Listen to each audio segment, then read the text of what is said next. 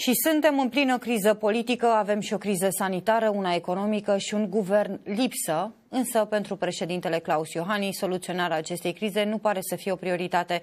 Liniștirea spiritelor în partide este pe primul loc. Pentru a da timp partidelor politice să se întrunească în forurile interioare, să găsească abordări mature, și să vină cu ele la consultări, voi convoca consultări cu partidele politice abia săptămâna viitoare.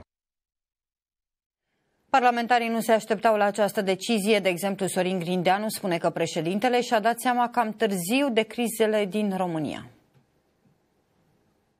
Dintr-o dată, la o săptămână după ce a fost la Congresul PNL unde zicea cât de bine e în România și cât de bine guvernează PNL-ul, a aflat că e criză sanitară, că e criză socială, că este criză economică, peste care se suprapune o criză politică.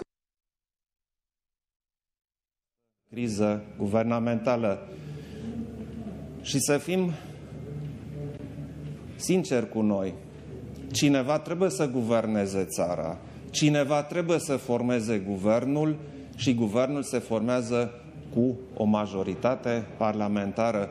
Așa că am considerat că este nevoie de câteva zile până când acest entuziasm nemotivat de uh, creat de căderea guvernului se stinge un pic, uh, lumea ajunge să-și pună problema, bun, acum ce urmează și să începem discuții așezate, serioase, mature, fiindcă altfel problemele vor deveni din ce în ce mai complicate.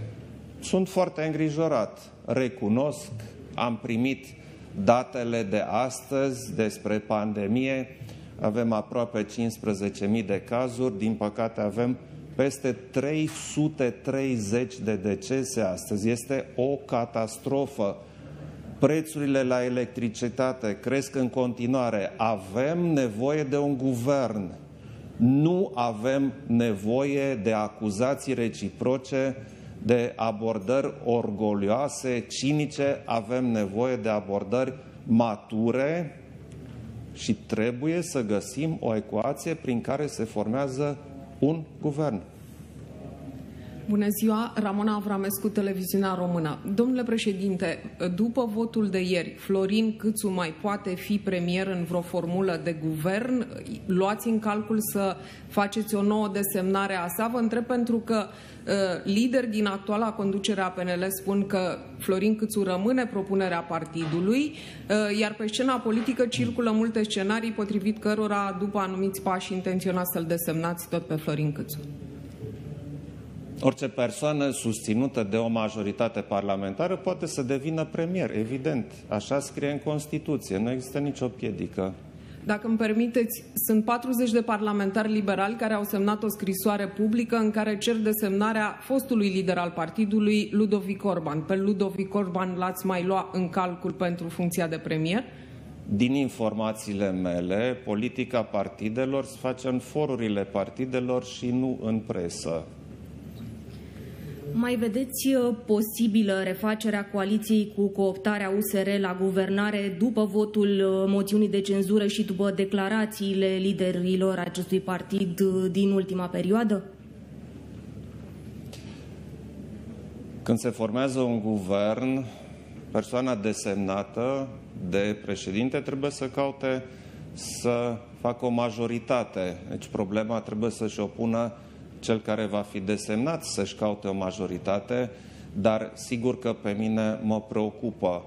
Uh, întrebarea este legitimă, fiindcă dacă vrem să analizăm faptele și nu poveștile politice, vedem că USR a fost în guvern, a abandonat guvernarea, a votat USR împreună cu PSD și cu AUR pentru căderea guvernului din care au făcut parte.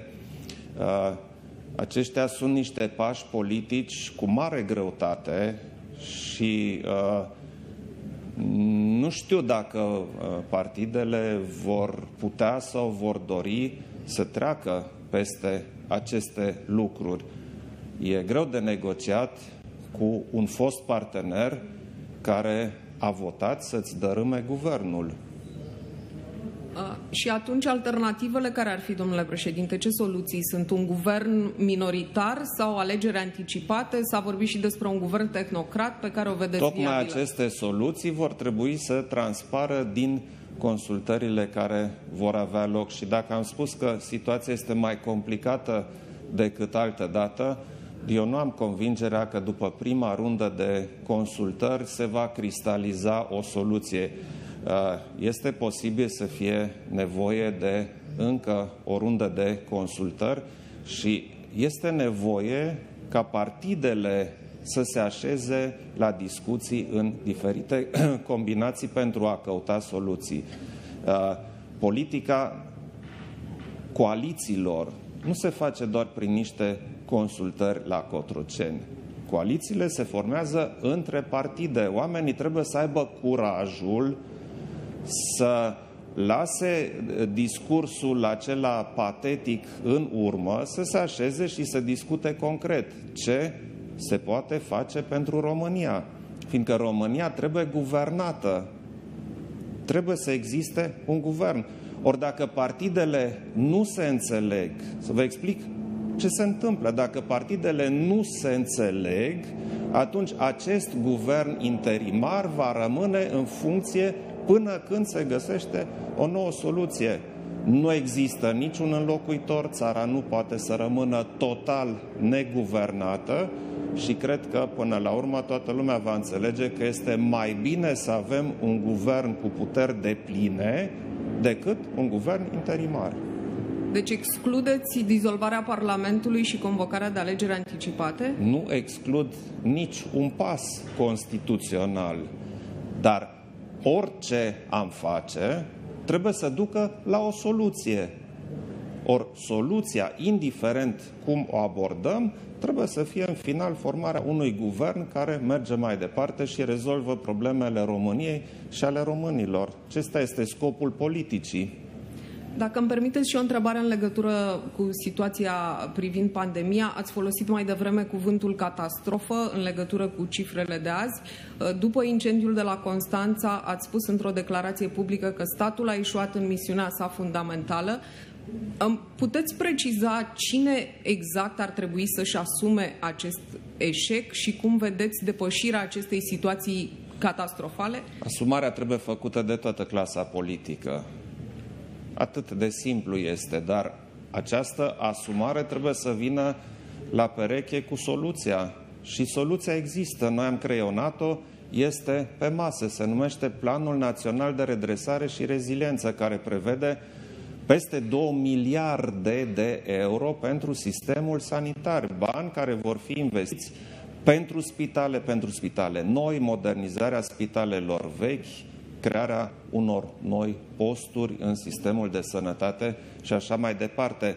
Deci noi, prin planul național, am abordat această chestiune, dar evident că și aici este nevoie de un guvern care duce lucrurile mai departe. Dacă nu avem guvern, banii nu vor fi folosiți și lucrurile vor rămâne tot Președintele Claus Iohannis a făcut declarații din Slovenia, acolo unde se află plecat încă de aseară la Consiliul European Informal. A vorbit despre criza politică, nu exclude niciuna din variantele constituționale, a spus președintele, adică alegeri anticipate sau ca acest guvern să rămână interimar până în momentul în care se va găsi un premier în jurul căruia să se formeze o nouă majoritate. A fost întrebat dacă ar lua în considerare să-l numească din nou în funcția de premier pe uh, fostul premier Florin Câțu și acesta a răspuns că orice persoană care este susținută de o majoritate, poate să ajungă premier. În ceea ce îl privește pe Ludovic Orban, a fost întrebat dacă acesta are susținerea celor 41 de parlamentari PNL, dacă ia în considerare să-l numească pe acesta.